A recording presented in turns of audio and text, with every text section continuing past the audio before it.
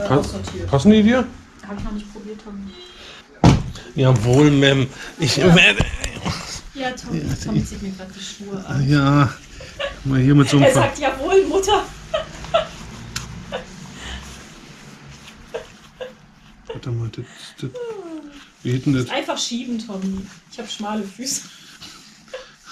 Das sind ganz schön fette Stumpen, hast du. Ich habe ganz schmale Füße. Was soll das?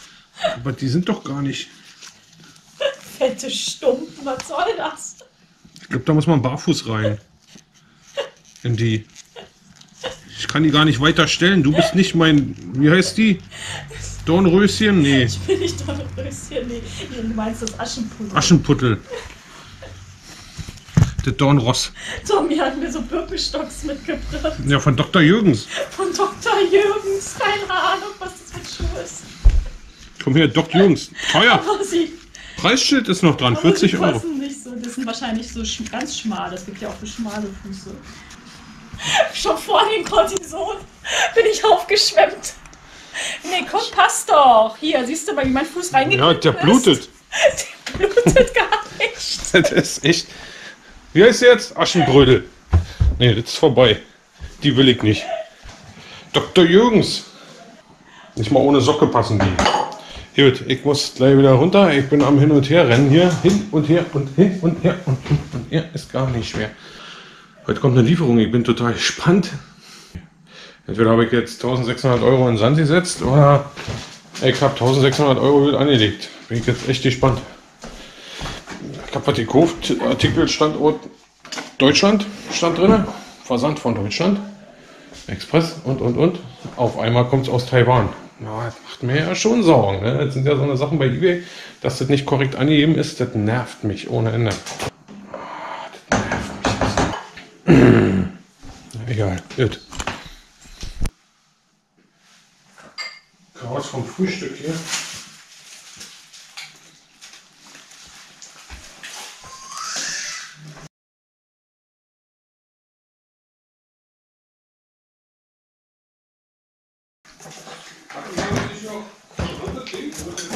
Was denn für ein großes Ding?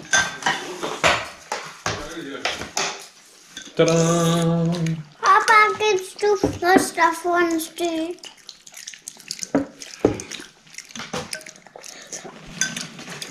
Aber kannst du mir geben? Ja, äh, Zwiebel ist noch drin extra. Hm, hast du gut gemacht. So schön. Ja. Aber Papas eigener Topf ist immer noch lecker. Mach nicht mal. Kopfhaut so wahnsinnig juckt. Ach so. Ja, Mann. Okay. Werkstattleben.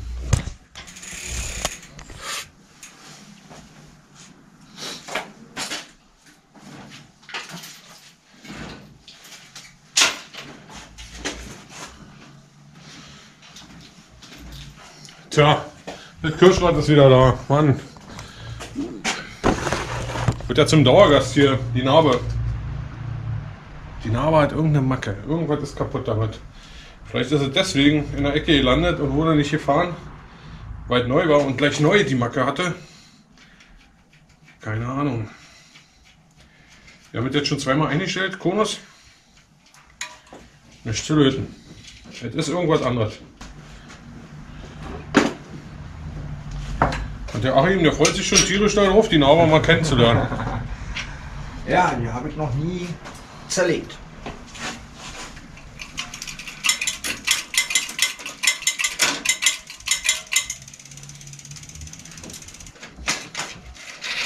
Und platt ist es auch. Na, kurioserweise. Ist es platt. Achim, Mensch, warte mal. Mal kurz gucken hier. Da sind wir alle gespannt jetzt. Sachs. Orbit.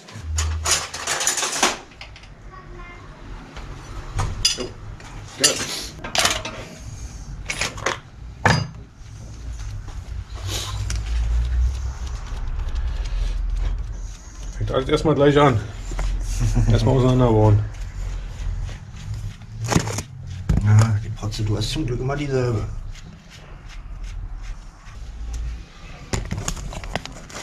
Da ich weiß, was passiert, werde ich die andere Seite mal festhalten. Genau. Mit der Kappe. Premiere für uns alle. Ja? Komme gleich. Hallo. Jetzt. Ja, okay.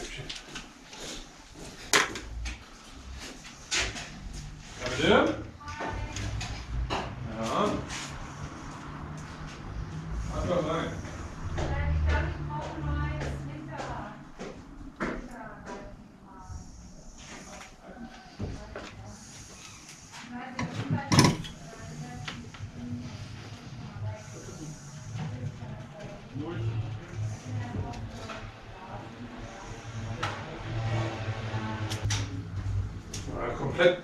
Zerropftes Hinterrad beim Peugeot.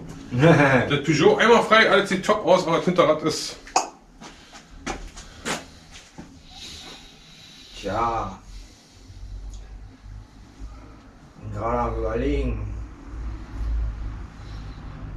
Okay, hier ist nichts. ob ich die jetzt komplett auseinanderruppe. Oh. Das ganze Teil sollte vielleicht mal sauber gemacht werden. Sperrklinken kleben. Na gut, das ist nicht die Ursache. Sag mal ja. Nee. Die Ursache ist auf der Seite. ja. Aber ich habe keinen Plan, wie ich das abkriege.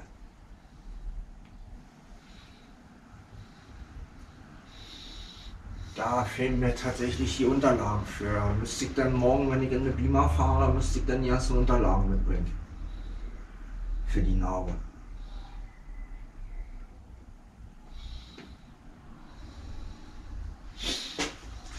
Na, warte mal. Schön. Dankeschön. Wir haben ja alles auf Video.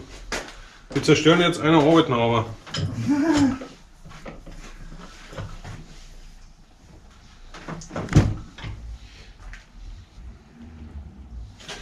Okay, jetzt los.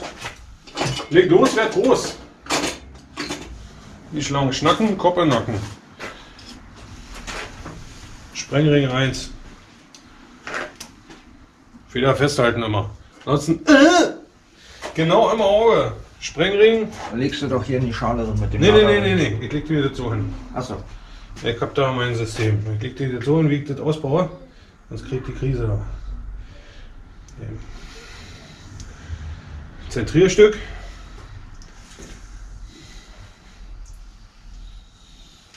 Na?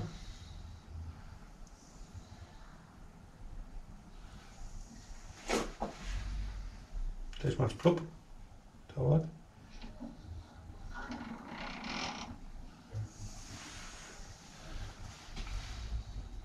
Ja, die sind verklebt auf alle Fälle, da hast du recht, das muss man gemacht werden.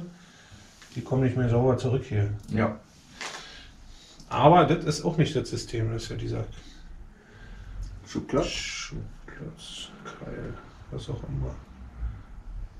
Ah, da, sitzt der, da sitzt ja diese. Da wurde Zugkettchen eingeschraubt. Da sieht man es mal von innen. Hier wird diese Zugkettchen eingeschraubt, diese Überlänge. Das ist ja diese Pentasport. Maß? Pentasport, ja. Ja. Hm, Der sitzt hier drin.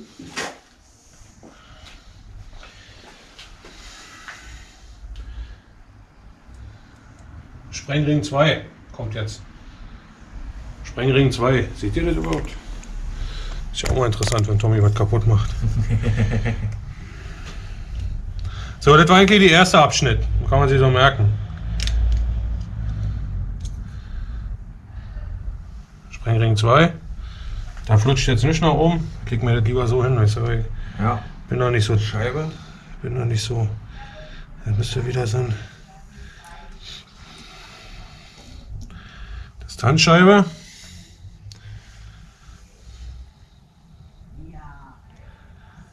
Jetzt kommt der eigentliche. Das eigentliche Getriebe. Tada! Zum Vorschein.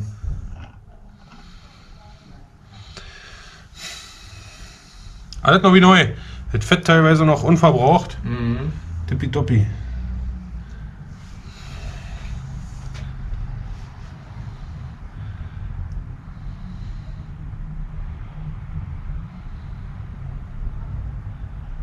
Jetzt könnt ihr die Getriebeeinheit runternehmen. Nicht groß wackeln, da sind Kugeln drin, die sind aber im Käfig, wie ich sehe. Weiß ich vorher ja auch nicht. Getriebeeinheit runter. So, jetzt gucken wir uns das hier an. Hier ist alles fest. Aber, was sehen wir? Ja, nicht. Warum also Wackelt diese Narbe. lockert, lockert sich das permanent? Das sieht nicht aus, als sei es ausgeschlagen. Weiter auseinandernehmen braucht man es nicht. Das macht keinen Sinn. Das ist kurios.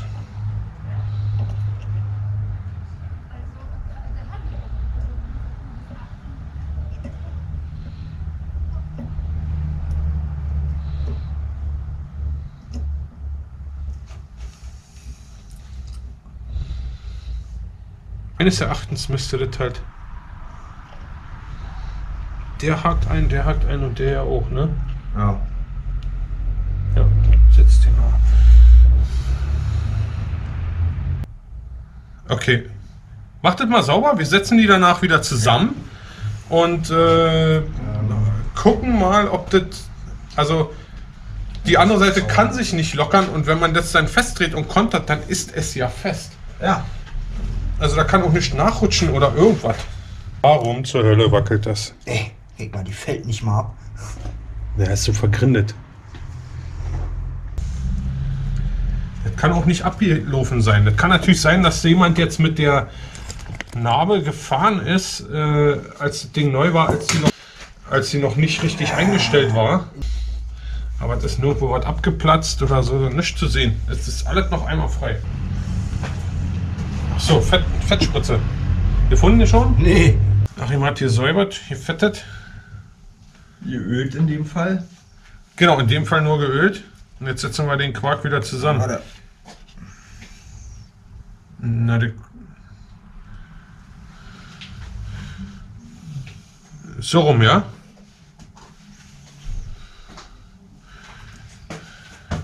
Wo ist denn das Gegenstück? ja? So rum sieht besser aus. Ah, so sieht besser aus.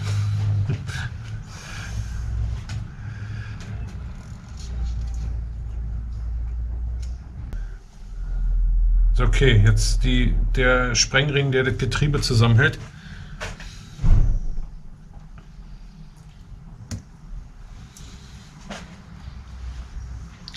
Und jetzt dürfte es ja eigentlich auch.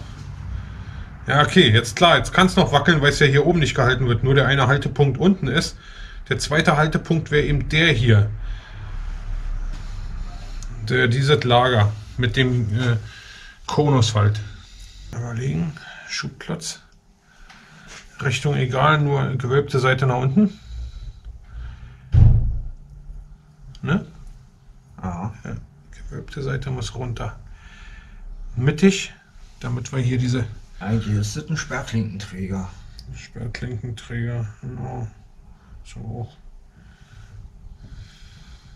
Die sehen ja auch in Ordnung aus. Das ist auch alles völlig. Warte mal, die arbeiten in welche Richtung?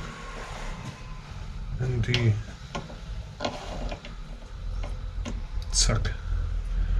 Zack. Haben wir. Aber die müssen da rein. Nee, müssen sie nicht. Stimmt. Nee, nee, die sitzen drüber. Dann diese wunderschöne Zentrierstück.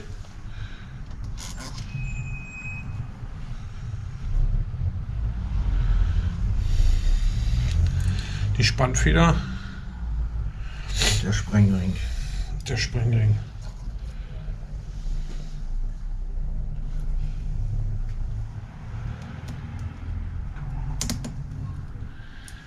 Was vergessen? Mehr Pfeile waren nicht. Mehr Teile sind es nicht.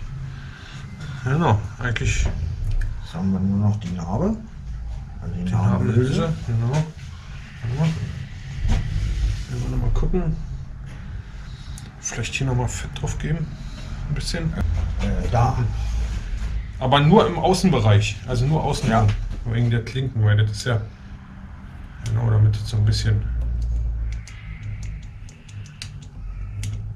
Weil das ist eben sehr schweres Fett. Super. Schmier noch immer mit dem Finger rum.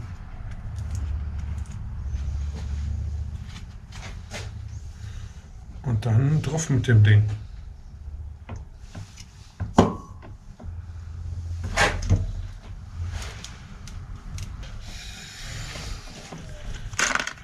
Konus.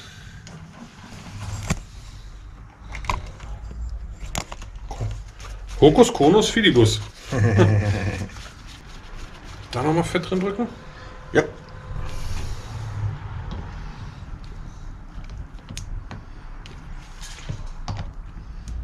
Sich also ein bisschen verteilen. Genau, reicht schon.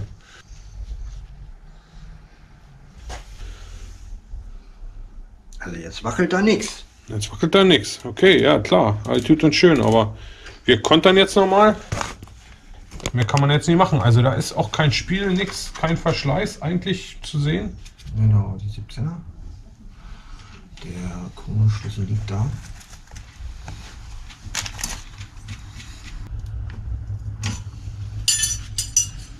Da dürfte jetzt nichts dran sein an dem Ding. Einbauen, zwei Runden fahren hier. Du siehst ja damit nur eine Runde fahren eigentlich. Na? Genau, so rum.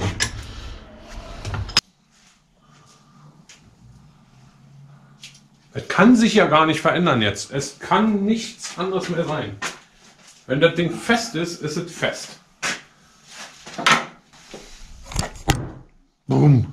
Ja, letzte Züge. Also einmal komplett zerlegt, halt wieder zusammengebaut, gefettet.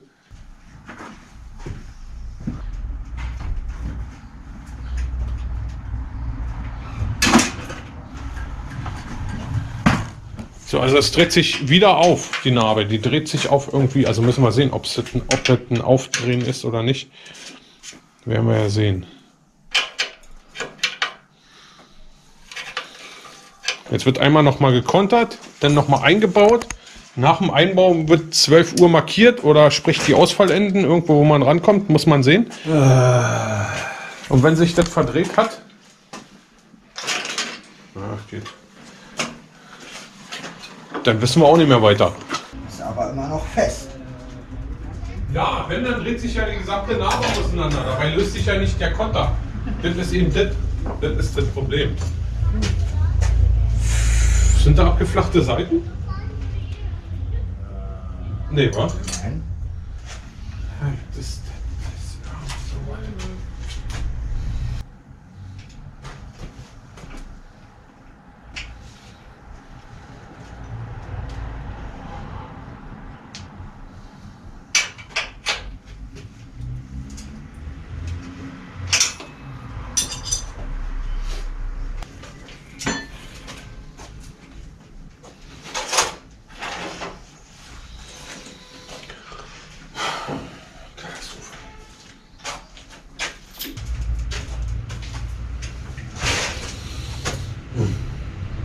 Geht nicht.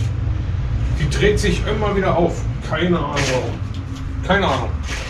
Die Gewinde sind gut. Die Kronen sitzen. Gekontert ist richtig fest. Die dreht sich auf. Das ist halt jetzt so. Werde ich ja sehen, ob da drin was fehlt oder nicht. Ja, fehlen, fehlen kann nichts. Theoretisch. Ich sehe aber hier, dass die mitdreht. Guck hier. An der Innenseite. Du siehst, die Narbe dreht sich auseinander. An der Innenseite. Ja. Merkst du auch. Da merkst du, wie das ausgefräst ist. Also sie dreht sich immer wieder auf. Hey. Ja, gut. Das war erstmal von dem Horrorauftrag. Von dem Kirschrad, da müssen wir uns jetzt was einfallen lassen. So geht das nicht weiter. So, Experiment.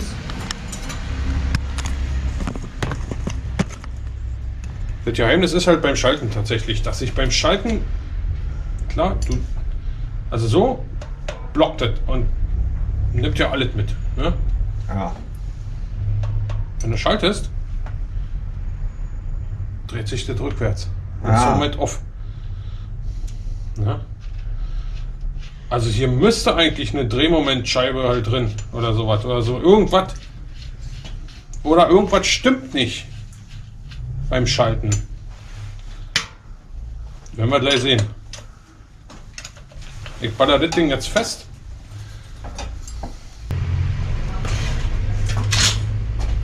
So, jetzt aber. Ach, ich will nur positiv. Wackel mal kurz vorher dran. Da wackelt nichts. Da wackelt nichts. Okay, jetzt will ich nur positive hören. Er darf sich nicht, wenn das sich verdreht, dann ist der Rahmen auch im Arsch. Ja, diese Hilfe braucht er nicht. Nee, nicht zum Fahrradfahren. Da braucht man eine Sonnenbrille. Nee, das funktioniert jetzt nicht. Ey. Muss einfach.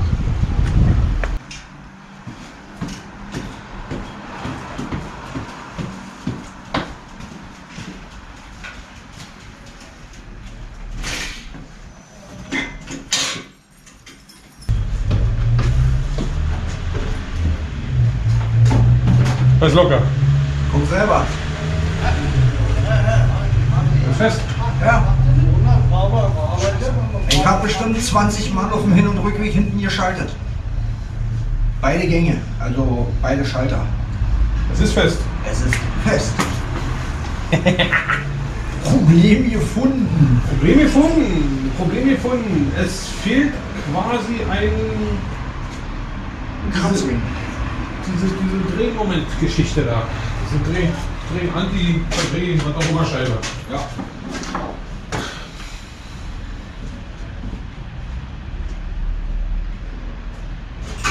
Aber wir haben die Narbe mal zerlegt und mal reingeguckt, ist doch gut, ist das super, ist doch einmal frei. Wunderbar, es ist fest. Fast perfekt. Müssen wir mal gucken, wie lange das hält. Ja.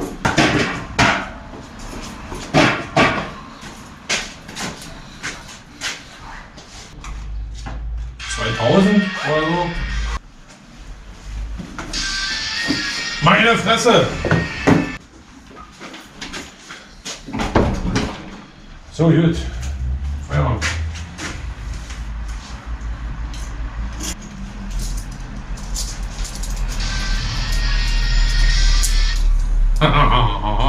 ja, ja. Ja, die VIPs wieder da oben. Ey, gut, die kommt aus dem Keller raus, puppt sie noch. Ja, ja. ja. Warte mal, Alles klar. das, das, also das habe ich ja. Wo ist jetzt mein Schlüssel? Den habe ich hier. Der liegt hinten auf, auf dem Brett. Ab nach Hause.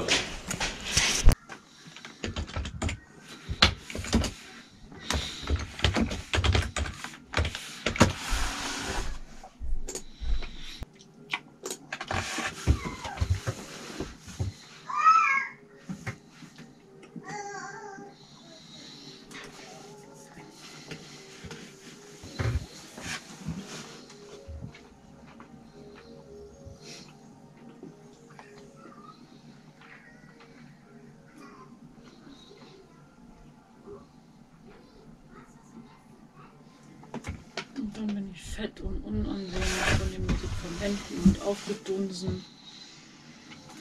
Und dann musst du mich verlassen. Ich sehe es schon kommen. Lass mich nicht. Ich kann nichts dafür. Wir sind Appetit anregend. Krank und schlank.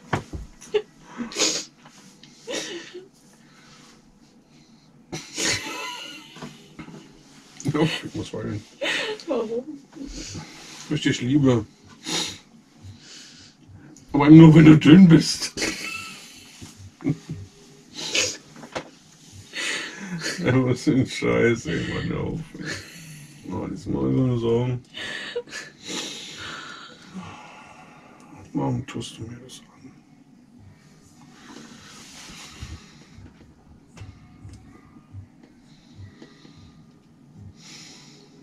Besser als Krebs. Weil das auch nicht so toll ist, sich zu stören mich selber. Meine, meine Abwehr greift sich greift körpereigene Zellen an oder Nerven. Das ist doch total bescheuert. Schieb dich. Nicht, dass du Schmerzen hast. Ich habe keine Schmerzen. Jetzt geht ganz prima. Okay, na dann. Hier ist bloß alles so. Hier. Top. ganz schlimm. Hier. Hier spüre ich fast gar nichts. Ist wie tot. Und hier ist kribbelt's. Ich kann man das irgendwie einsetzen. Kneipenschlägerin. Also hier, Ich ich, ja bin nicht, ich bin nicht. Hoffnungen, dass sich das nach dieser Cortison-Gabe, dass das dann besser wird. Oh, Mäuse hier, Mann. Ich hoffe nicht, dass mein Nerven beschädigt ist. Ich meine, ich laufe jetzt schon eine Weile so rum. Schneller ging es ja nicht. Sollen wir machen?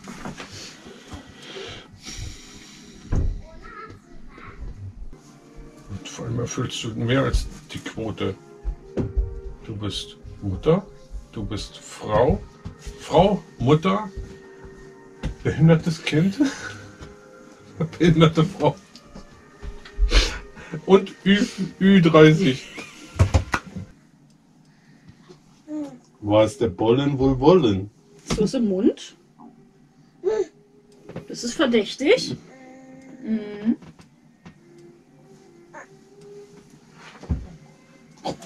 Jetzt macht sie eigentlich immer gleich den Mund auf. Sie ist immer noch verdächtig. Du bist mein kleines Verdächtimon. Ist sie noch verdächtig? Ja, der Mund ist noch nicht aufgegangen.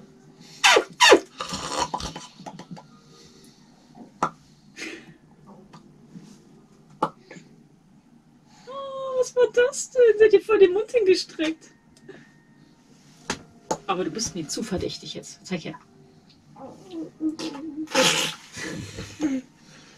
Nee, ist nix.